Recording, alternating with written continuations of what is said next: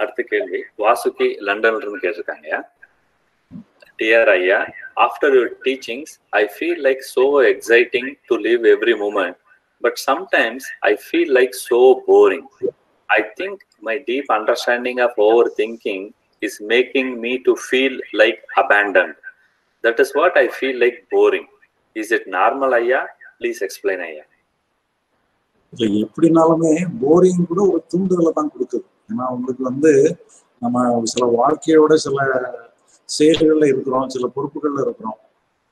அப்போ நீங்க வந்து ஏதோ ஒரு இடத்துல செஞ்சதே திருப்பி செஞ்சுட்டு இருந்தீங்கன்னா நிச்சயமா அது போராட்டத்தை தான் கொடுக்கும். இப்போ ஏதோ சொல்ல போனான்னு உங்களுக்கு செயல் மேல ஏதோ ஒரு ஈடுபாடு உங்களுக்குள்ள இருக்கு. உங்க கேரக்டர்ல வந்து செயலோட சம்பந்தப்பட்ட ஒரு ஈடுபாடு உங்களுக்கு இருக்குங்கிறது அர்த்தம். அப்போ அதை நீங்க வந்து பாசிட்டிவா பயன்படுத்திக்கலாம். பாசிட்டிவா பயன்படுத்திக்கிட்டு நீங்க ஏதோ நல்ல செயல்கள் உங்களால் முடிஞ்ச செயல்களை செய்யலாம். இல்லைன்னா நீங்க ஏதாவது ஒரு ஒரு ஹெல்த்தியா ஒரு ரெக்ரியேஷன் கூட போகலாம் நம்ம ஒன்றும் அதுதான் கூட தப்பு உங்களை ரெக்ரியேட் பண்ற மாதிரி ஒரு ஹெல்த்தி ரெக்ரியேஷன் கூட வச்சு நன்றிங்க. அடுத்த கேள்வி. ராதாகிருஷ்ணன் சிங்கப்பூர்ல இருந்து கேட்டிருக்காருங்க ஐயா நான் கடந்த ஒரு இரண்டு வருடமாக தங்களது புத்தகத்தையும் யூடியூபில் தங்களது பிரவாகம் முறையையும் கவனித்தும் பின்பற்றியும் வருகிறேன்.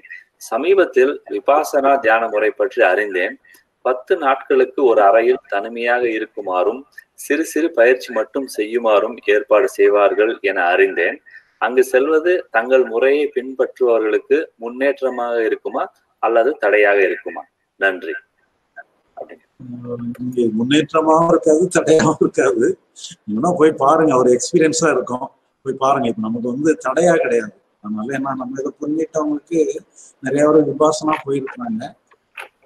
ஒரே ஒரு லேடி மட்டும் சைக்கலாஜிக்கலா பாதிக்கப்பட்டாங்க. என்ன என்ன என்ன பண்ணாங்க என்ன பிரச்சனைங்கிறது தெரியல அது. அவங்க ஏன்னா இது வந்து நம்ம இது வந்து பயிற்சியே கிடையாது. ஆனா அவங்க அதை பயிற்சி ரூபமா கொடுக்குறாங்க. அதனால அவங்களுக்கு பயிற்சி பண்ணணுங்கிறதுல ஒரு இன்டென்ஷன் கிரியேட் ஆகிட்டா என்னன்னு சொல்லி தெரியல. அதனால அவங்க வந்து சைக்கலாஜிக்கலாக கொஞ்சம் பாதிக்கப்பட்ட மாதிரி தெரிஞ்சாங்க. அது அது அவங்கள பற்றி ரொம்ப டீட்டெயிலாக தெரியல. இப்போ அவங்க ஃபோன் பண்ணால் தான் வந்து அதனால அவங்ககிட்ட வந்து ஒரு சைக்கலாஜிக்கலாக பாதிக்கப்பட்டவங்ககிட்ட போய் டீப்பாக நம்ம பேச முடியாது. அதனால அது நமக்கு தேவையில்ல. நமக்கு தேவைன்னா போக வேண்டியதுதான். ஒரு ஆரம்ப காலத்துல உள்ளவங்களுக்கு பயிற்சி முயற்சிகள் இருக்கிறவங்களுக்கு கண்டிப்பா சேரலாம் ஆனா இதே நேரத்துல அப்படி போயிட்டு வந்தவங்க ஒன்றும் ஒன்றும் பிரயோஜனம் இல்லைன்னு சொல்றவங்க நிறைய இருக்கிறாங்க. இந்த மாதிரி நம்ம இதுக்கு வந்த பிறகு சிலவங்க போயிட்டு வந்து ஒன்றும் பிரச்சனை இல்லாமல் நல்லா இருக்கிறவங்க நிறைய இருக்கிறாங்க. அதனால நீங்களா முடிவு பண்ணிடுங்க. அதெல்லாம் என்னன்னு தெரிஞ்சோம்னா இந்த பயிற்சி பண்ணணுங்கிற ஹேபிட்டை அதை வந்து நீங்க எடுக்காம இருந்தா போதும். ஏன்னா அவங்க வந்து அங்க இருக்கிற வரைக்கும் பயிற்சி தான் பண்ணத்தான் செய்யணும். அவங்க தான் கொடுக்குறாங்க பயிற்சி பண்ணதான் சொல்லுவாங்க. இந்த வெளியே வந்த பிறகாவது பயிற்சி தவறுங்கிறத புரிஞ்சுக்கிட்டாருன்னா போதும்.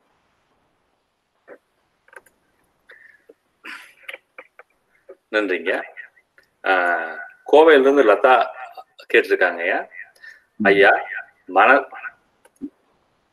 ஐயா மனதை பிரவாகத்தில் கடந்து விடலாம் தங்களின் ஞான பகிர்வால் ஆனால் புற உலக வாழ்வை கடப்பது என்பது நாணயத்தின் இருபக்கம் போல பற்றற்றும் எது நடந்தாலும் தைரியத்துடன் எதிர்கொள்ளும் நம்பிக்கை மட்டும் இருந்தால் போதுமா?